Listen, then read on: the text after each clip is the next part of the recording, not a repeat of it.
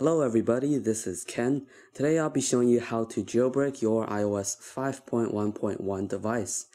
Now it just came out uh, today and there's already a jailbreak for 5.1.1.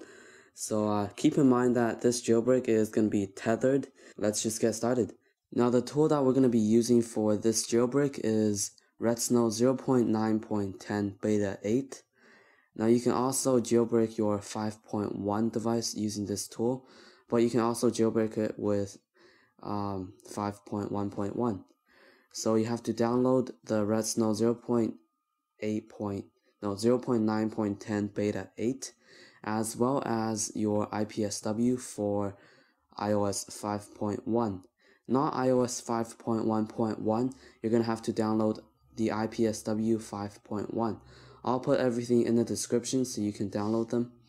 The reason that you're gonna download 5.1 is that 5.1.1 and 5.1 have minor changes, so it's pretty much the same IPSW and Redsn0w will jailbreak both uh, iOS's or uh, IPSWs.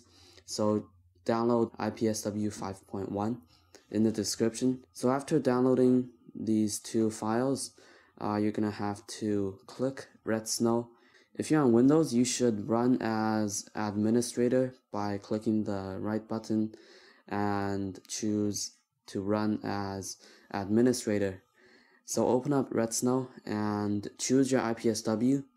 So in this case, we're going to choose iOS 5.1, the IPSW, and click OK.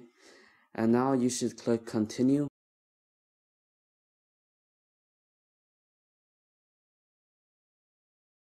And now you can put your device into DFU mode.